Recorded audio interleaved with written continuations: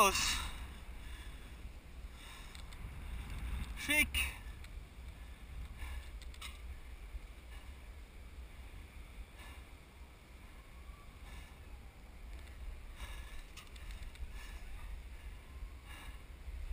Die Kira, die Chakaidi, die Nubia, die Tres Hombres, ja, Moonshadow. Ja, sonst kennen wir hier niemanden. Fischerhafen. Dahinter, wo das Kreuzfahrtschiff ist, der Deepwater Harbor. Hier geht es rein in die Stadt. Der Kanal, der geht bis weit nach hinten. Da an der Pier, wo die Jetskis sind, da ist die Bar von Sharky.